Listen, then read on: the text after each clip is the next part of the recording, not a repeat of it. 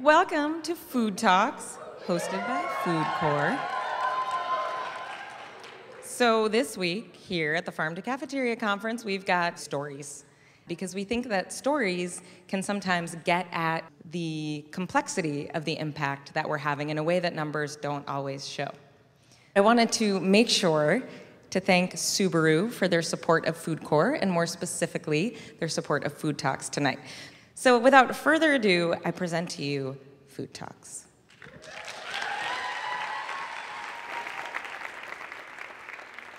So on my first day of service at Bayyari Elementary School in Springdale, Arkansas, I was really excited. I was a little nervous, but most of all, I was eager. I was eager to meet the students and the staff that I'd be spending a year of service with.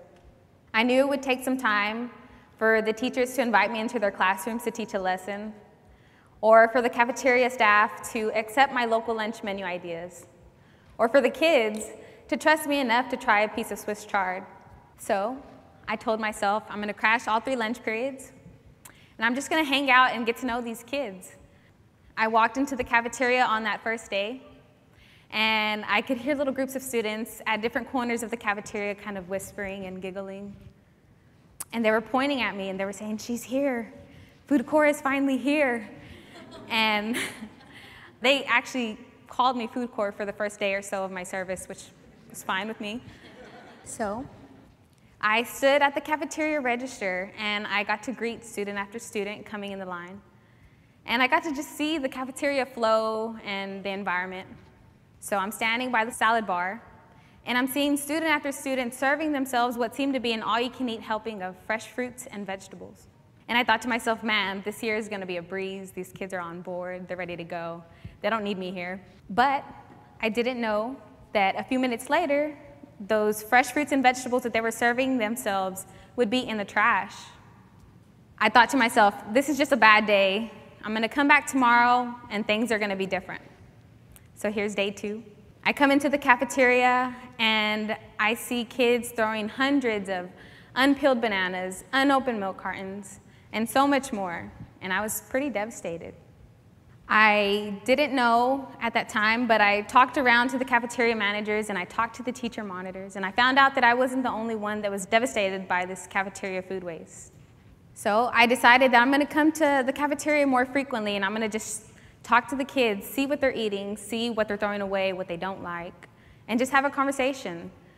From talking to the kids, I realized that they liked plain whole wheat bread for their sandwiches instead of the highly processed, more expensive, fancier goldfish shaped bread that they were being served because the cafeteria thought that that's what they wanted. I also found out that they were having a really hard time eating their oranges. Now, these oranges were cut into halves, and let's face it, no one likes to eat a halved orange. So I took my notes, I listened to the kids, and small cost effective changes such as cutting the oranges into wedges were made. And suddenly, more kids were eating their oranges and they were enjoying their oranges instead of just trying to suck whatever they could out of that halved orange. These small wins were awesome and I was excited about it, but I knew there was still so much more to be done, and there was still so much more food waste that was happening. And we decided that we were going to do a cafeteria food waste audit. The goal of this audit was to calculate how much food waste and how many unopened milk cartons we were wasting each day. We found out that we wasted 220 pounds of food and 231 unopened milk cartons. The kids went on to estimate what this would look like for a year, and then over the course of their six year elementary career, so from K through fifth grade. And the numbers were astronomical. In one year, the kids estimated that we would waste about 39,600 pounds of food waste and about 41,500 unopened milk cartons. In six years, this number went up even more. The numbers went up to 237,600 pounds of food waste and 249,480 unopened milk cartons. So we thought to ourselves, this is one school in one district in one state. At the end of our food waste audit, we had tables in the hallway with all the food that we had sorted out, and there was so many untouched food, so much unopened milk cartons. And we were thinking, what are we going to do with all this? The kids talked about taking it home. They talked about donating it to local food pantries. They had all these great ideas about what they wanted to do with the food. We had several students coming up and down the hallways asking if they could have it because they thought it was a snack.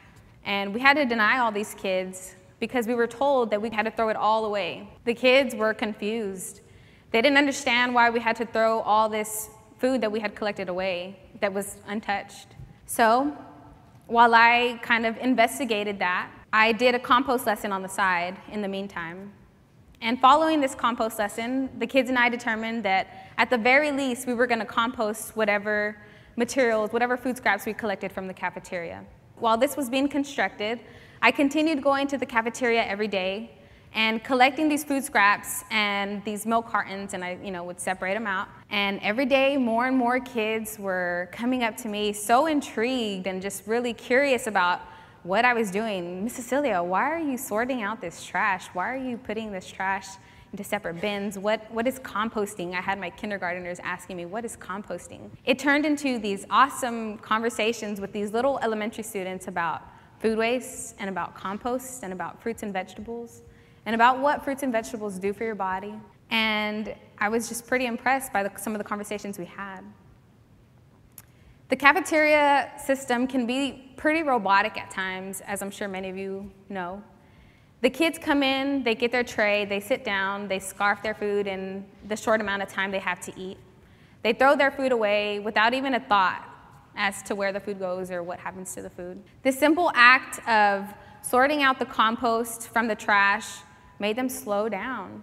They had to slow down and they had to mentally and physically sort out the food waste from the trash and slowly, this turned into a small solution to kind of reduce our food waste in our cafeteria. Every day, I had more and more students come up to me saying, Miss Cecilia, Miss Cecilia, today I ate all my fruits and vegetables, and I only have my orange rinds to throw away in our compost bin today. Or, Miss Cecilia, broccoli really gives me gas, but I tried it again today, and I really like it.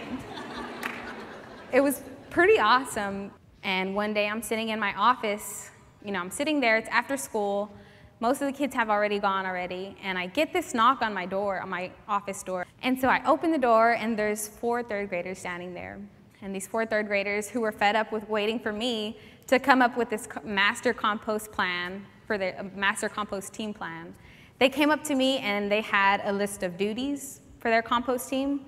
They had gotten approval from their teacher, from the principal, um, and they told me, Miss Cecilia, we are the new compost team.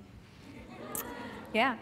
They said, we are the new compost team, and we're gonna come to the cafeteria every Monday, and we're gonna take on the compost duties. And just like that, I was given the boot from the third graders. Never had I been more proud to be fired from a position in my life. it's pretty great. So now every Monday, Christopher, Rubina, Lennon, and Brian confidently take on these compost team duties. They're in there every Monday. And after school, these little elementary school kids are pushing the cart of all the food scraps to the compost bin. And they do it with so much pride and so much enthusiasm. And I just, I never thought I would see a kid so enthusiastic about food scraps or food waste. But it's been these small wins, these small victories and these cost-effective changes like standing in the cafeteria lunch line, giving kids high fives when they've either eaten all their fruits or vegetables or even attempted to try a new fruit or vegetable for that day, that have really made this the greatest impact on me as a food corps service member. I feel beyond blessed and so thrilled to be a part of the team at Bayyari Elementary School and to be a part of Food Corps as an organization that I get to do this every single day I am more than confident that Christopher, Rubina, Lennon, and Brian will be a part of Food Corps class of 2027. So you guys watch out for them. Thank you.